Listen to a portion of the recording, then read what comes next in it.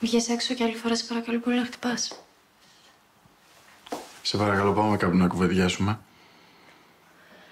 Ό,τι έχεις να μου πεις, πες το μου εδώ. Είμαι πάρα πολύ κουρασμένη, είχα δύσκολα θέματα στο δελτίο και θέλω να πάω σπίτι μου. Ωραία. Θα πούμε εδώ.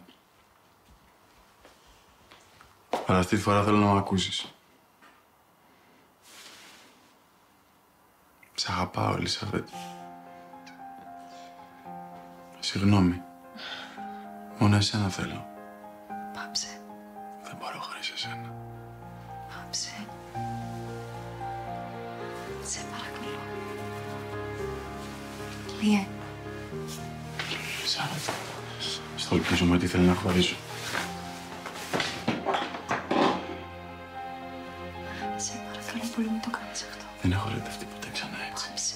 Μόνο εσένα θέλω.